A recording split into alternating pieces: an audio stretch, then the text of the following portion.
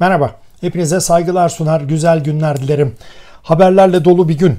Ee, üç tanesini seçtik. İki tanesi biri iç politika, biri dış politika haberi. İkisi de birbirinden önemli ama üçüncüsü tam anlamıyla bir rezalet. İstanbul Üniversitesi'nde e, makamını, gücünü cinsel amaçla kötüye kullanma iddiası var ve iddianın e, içeriğinden çok yani olayın kendisin kadar en azından yapan kişi de önemli. Onu müsaadenizle biraz sonraya bırakacağım çünkü e, burada e, hem iç hem dış politikaya dair önemli haberler var dedik. Suriye'ye kara harekatı ne zaman, nasıl, ee, İbrahim Kalın Cumhurbaşkanlığı sözcüsü dedi ki her an olabilir. İşte bakıyoruz. Ee, Devlet Bahçeli Milliyetçi Hareket Partisi lideri dedi ki olur olmaz herkes diyor böyle televizyonlara çıkıp konuşuyor şu zaman bu zaman bu milli güvenliğe aykırı bir durumdur diyor.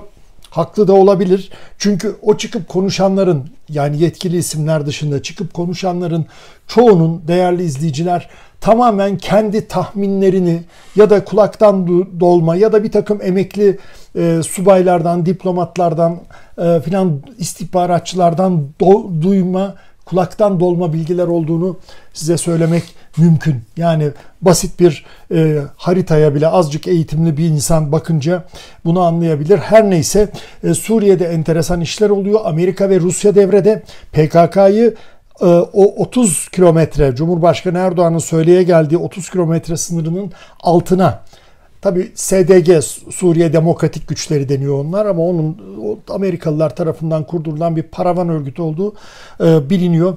Oraya itmek, oraya daha doğrusu geri çekmek istiyorlar fakat o bölgeye işte bu Kobani ya da Aynel Arap, Arap Pınarı dahil olduğu için onlar içinde yani PKK için en stratejik nokta Suruç'un tam karşısına geliyor.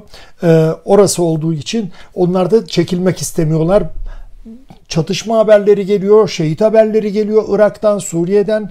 E, su, yani e, gerçekten durum gergin ama Amerika ile Rusya e, bir yandan hani Türkiye'nin harekatını önlemek için PKK'yı geri çekmeye çalışıyor.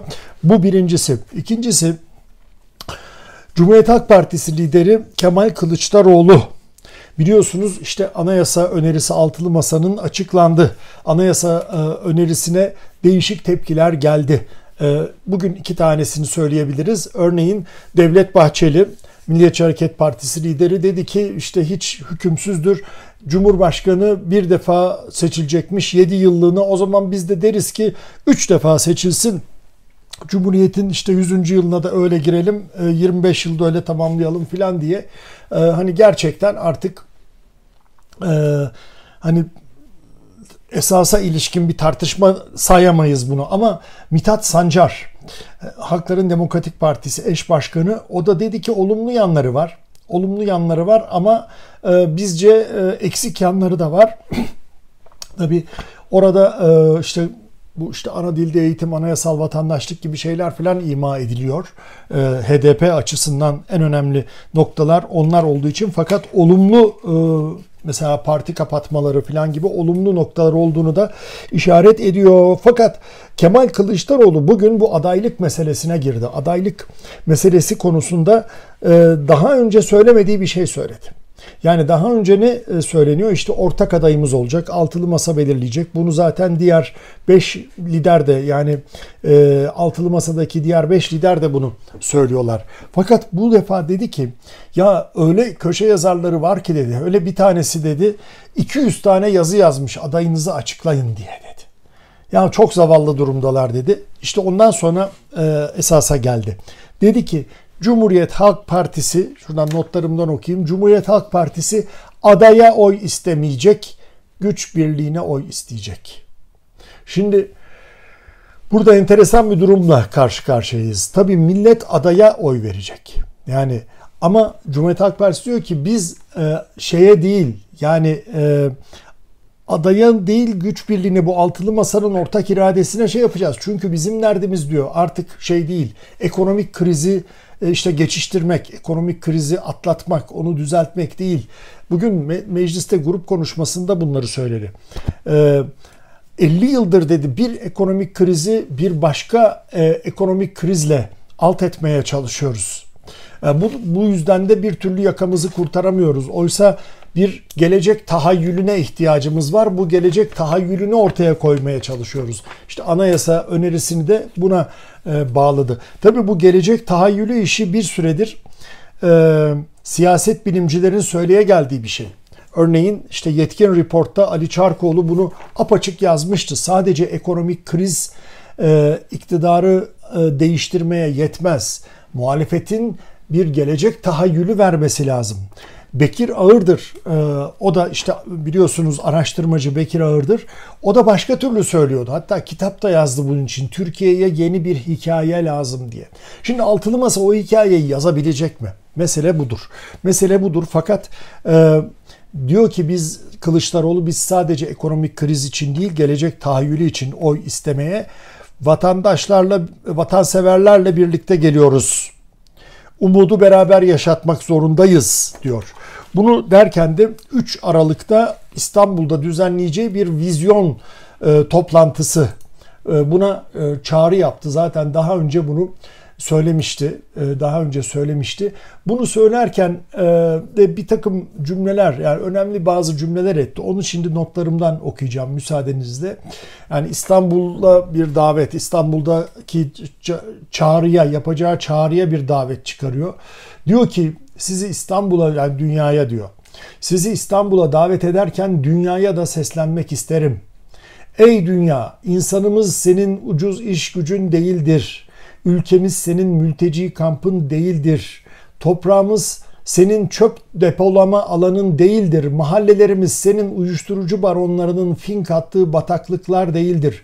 Bu karanlığa asla ama asla mahkum değiliz. Ee, ve dünyaya şunu söz söyleyeceğiz diyor. Seninle rekabet etmeye geliyoruz.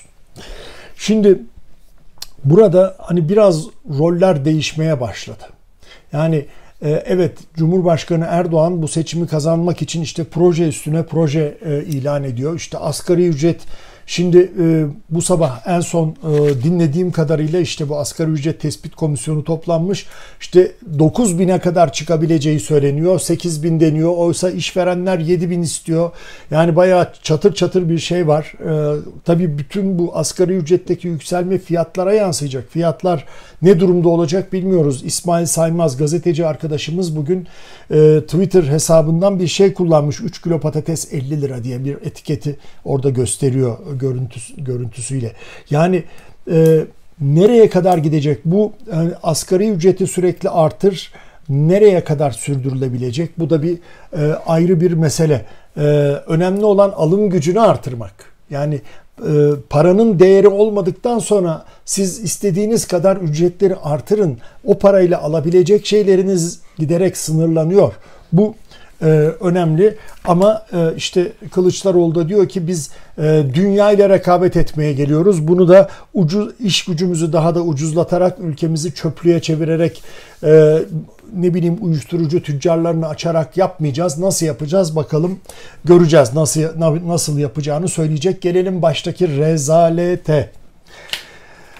Efendim İstanbul Üniversitesi Siyasal Bilgiler Fakültesindeki e, bir hocanın bir profesörün doktora öğrencisinde daha önce de jüri üyeliği yapmış doktora öğrencisinin odasına giderek ya da basarak diyelim benim olacaksın yoksa seni işsiz bırakırım dediği iddia ediliyor. Yani iddia ediliyor diyoruz çünkü hani e, bu devirde gücü gücüne yetene hop diye e, haklı hale çıkabilirler. Çünkü hani arkasını sağlam yere alan e, istediğini yapabiliyor. Öyle bir dönemdeyiz maalesef.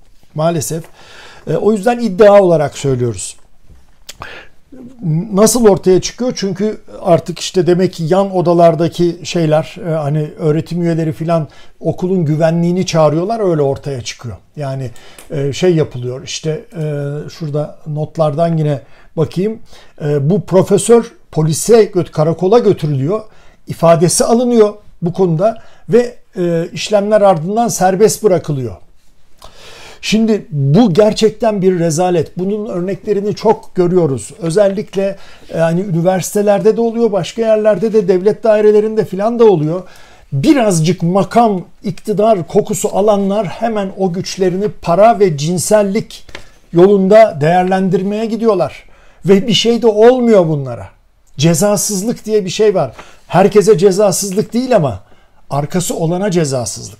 Şimdi bu kendi başına bir rezalet iddiası değil mi? Kendi başına yani bir profesör önce e, jürisine girip doktorasını kabul ettiği e, kadın öğrencinin artık öğretim üyesi olmuş odasını basıyor. Benim olacaksın diyor. Bunu herkes de duyuyor. Alıyorlar profesörü karakola götürüyorlar. Şimdi bu bir rezalet iddiası değil mi? İddia diyoruz ki hani e, ona göre vay efendim bana kesin yargı diye üste çıkarlar bunlar. Zeytinyağı gibi üste çıkarlar söyleyeyim. Çünkü insanın şu ar damarı bir çatladı mı artık çaresi yok.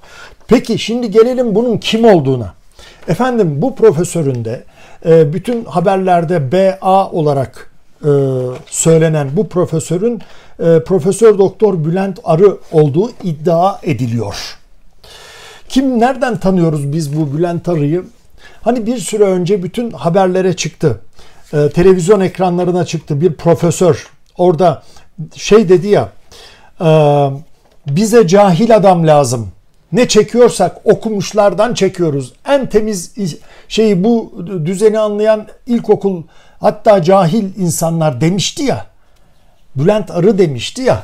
İşte o BA'nın şimdi bu Bülent Arı olduğu iddia ediliyor efendim. Kesin söylediğimiz zaman dava açıp zeytinyağı gibi arsızlıklarıyla üste çıkabiliyor bazıları.